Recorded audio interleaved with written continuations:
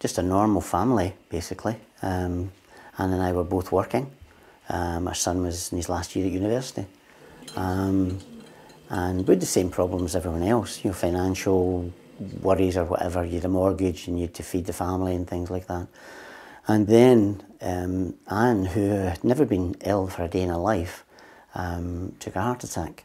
So she was rushed to hospital and um, we were virtually told not to expect her to last the night. Because Anne's heart had stopped beating, there was a lack of oxygen to the brain and that Anne's brain had been damaged. Some of the brain cells had died and she would have a number of different problems.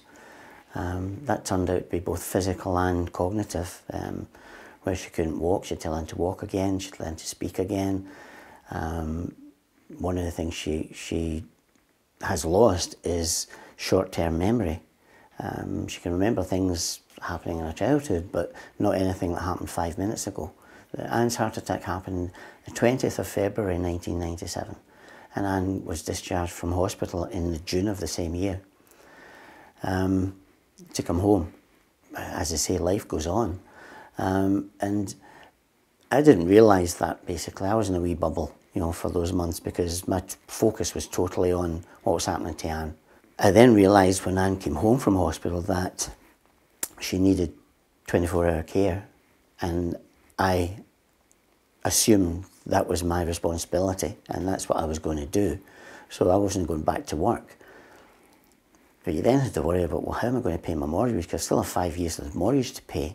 All the while coping with someone who needed total care for 24 hours a day. Um, and you just felt as though you didn't have a minute for yourself. You, you, you, well, you didn't think of yourself.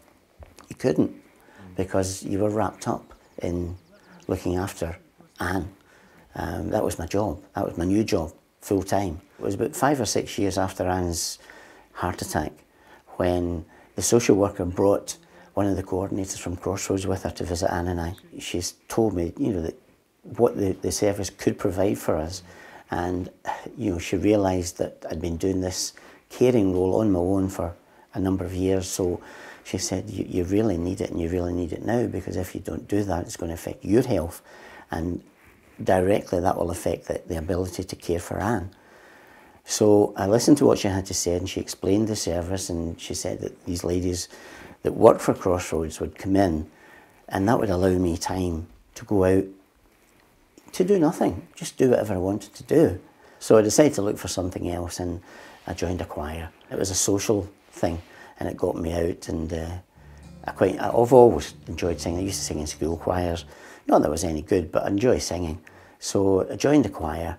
Again, Crossroads continued to support Anne and I and gave me the time and the, the feeling that I, I could relax knowing that I can enjoy the choir. I know Anne's been well looked after and that was what worked fine for us. My health would have broken down quicker, sooner, if I hadn't had the three or four hours a week that Crossroads allowed me to have time to myself and get my head together, basically. The support from Crossroads gave me an outlet um, to allow me to do, to find, to try things. Because I think you've got to try something, find out whether you like it or not, and move on if you don't. Um, and that's basically what I've tried, I tried to do with the time that I had um, because of the fact that the ladies from Crossroads were here.